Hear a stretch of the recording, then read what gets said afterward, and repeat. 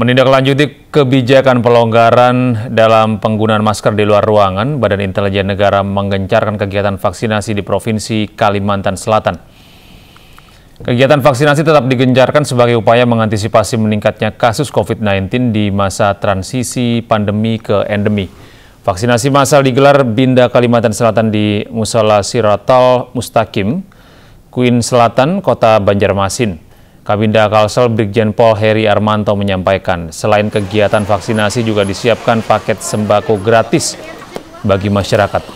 Data terkini pada bulan Mei 2022 sudah tervaksin 46.632 sasaran yang diutamakan masyarakat lansia, anak usia 6 hingga 11 tahun serta penderita komorbid. Pertama, kedua Sinovac, boosternya memang Pfizer,